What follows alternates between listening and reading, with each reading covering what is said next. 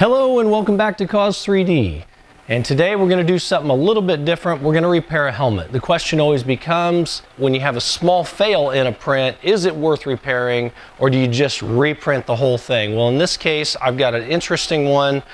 I was playing with some supports on this helmet to try to make it better and my supports were simply too thick on the interior of the helmet. So when I ripped them out, I got in a hurry and lo and behold, I cracked the helmet and I cracked it pretty good. So let's talk about repairing this thing and see if it's worth it. Let's get to it. Now, this is a pretty substantial crack here, and normally I'm not sure that I would attempt to save this, but this helmet I actually printed for myself that I was going to use in a project, and instead of wasting some filament, I thought we could repair this relatively easy and get this get this back even better than it was. The first thing we're going to do is we're going to use some super glue. Now I'm not looking to repair it with the super glue. I just need it to actually bond and hold. So we're going to open it up just a bit. We're going to drop some glue in there as best we can. This might get a little sloppy even. But I just need it to grab so that I don't have to sit here and hold it together the whole time. So we got a pretty good bond here on that. Now that's not very strong and you can probably see in the upper camera that it is still separating ever so slightly. So we want to definitely get this taken care of here quickly. So this is a plastic welder. The way this works is it comes with these, with all of these metal pieces that you simply stick into the end of the gun. You press the button, it heats up the tip, and then you press it into the plastic. And it's usually used for automotive stuff. And I'm gonna drop a link in the description for this where you can get one. And I'm get, I've decided that I do want one right here on the outer face because that's where that crack starts. And I might try to slip one, I'm gonna slip one in right here where this ear cap will end up getting covered anyway. Back here, I'm actually gonna go on the interior and drop one in. So we're just gonna use three of these. We don't need to overdo it. So let's just warm this up. Find a good way to hold it. Warm this up and it's just gonna slide right into that plastic. Let that cool a hair, pull it right out. So that's the first one done. And now we're gonna reload go with a second one right here where the ear cap's going to cover it. We don't go too deep with these. It does take a little bit of practice to make sure that you don't go all the way through into the interior. Um, in this case, if we did go all the way through, it's not the end of the world because you're not going to see the interior. Now on this piece, because it's in such a weird spot, I could probably drop one in there, but I don't want to. I actually want to come in on the inside just because of the amount of extra work that's going to be to sand that out and make sure that you can't be seen. And I doubt I can get it into the frame of the camera. So you're just going to have to trust me that I dropped this one in the interior. So that area is covered there. Now the crack that's slightly back here, I'm not too worried about because now that it's nice and rigidified, it's pretty well taken care of, I believe. So um, we're gonna move over, we're gonna trim these pieces that are hanging off away on the interior exterior. I'm gonna use a metal file quickly to just knock them down and then put some filler in it and we're good to go. Okay, let's trim these metal pieces that are sticking out. Safety glasses are an absolute must on these because they do go flying everywhere and I have no desire to have one of these pieces stuck in my eye. So we're going to trim them down as flush as we can.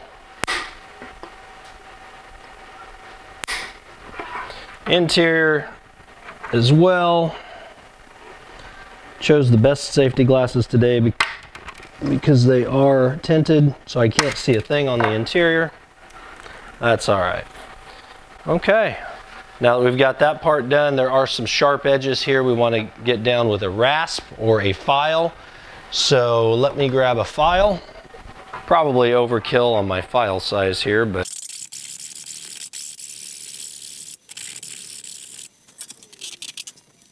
All right, now that we have that file down to where we're not gonna cut ourselves on it, I'm actually gonna move over to a sander and we're just gonna hit that a little bit with a sander just to get it nice and flush. And that's the next step. And then we're gonna put some filler in there. Okay, so since this is one of my helmets that I'm gonna be refinishing for another project, I am gonna go one extra step on that and I'm simply gonna take my soldering iron. This is the soldering iron that I use specifically only for plastic.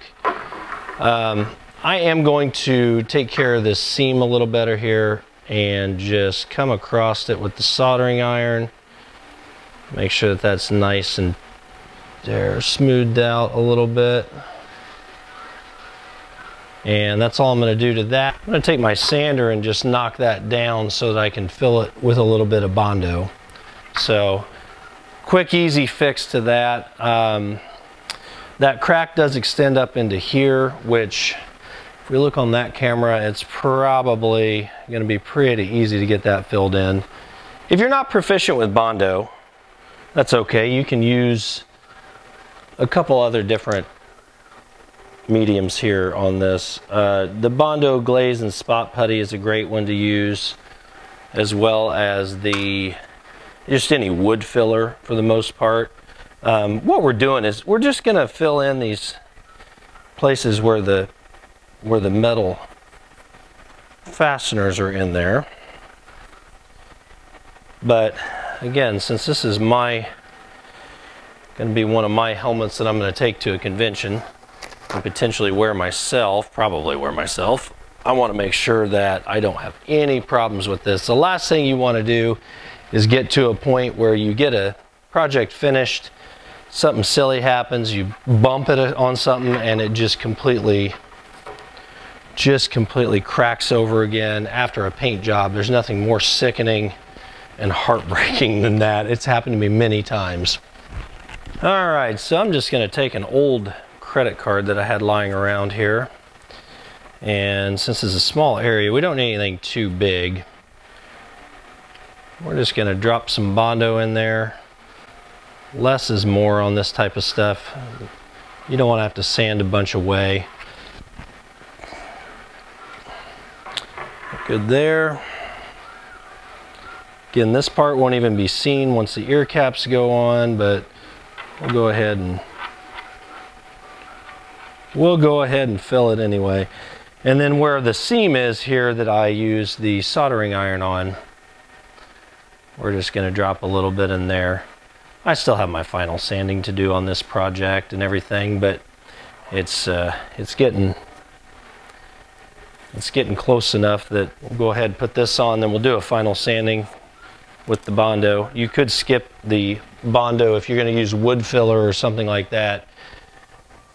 You could skip that filling part that I just did until after you've done your final sanding or second to final sanding. But we'll go ahead and do it now. Just get some in that little crack there so that that doesn't come back to haunt us later. Get that filled in just a bit. Looks good. Uh, I will mention that on the interior side of the, the fastener, I did go in with a Dremel and a, I did grind down that, the, the two posts that stick up from that uh, off camera. Couldn't get the camera in there well enough for you to see, so I just ground it down so it wasn't in the way or anything or not going to poke me in the side of the head later. So we're going to let that Bondo cure and we'll see how it turned out. All right, guys, so there you have it. I have gone over and sanded the Bondo now that it's cured and those fasteners. You can still see them a little bit, obviously, before I put any filler primer on them. But that's it. We're fixed. We're, we're back to solid again. I'm not worried about it actually cracking anymore or coming apart. I'm not saying that this was the optimal solution on every single project. I do have projects that come off that uh, if they do, if something does get cracked, we, we obviously don't sell it on our Etsy store or anything like that. But in the case of this, once it came off, it was cracked. I've actually been waiting to uh, have kind of somewhat of a print fail so that I could get one of these helmets for myself to be able to sit down and do a custom job on it that I need it that I need for future use.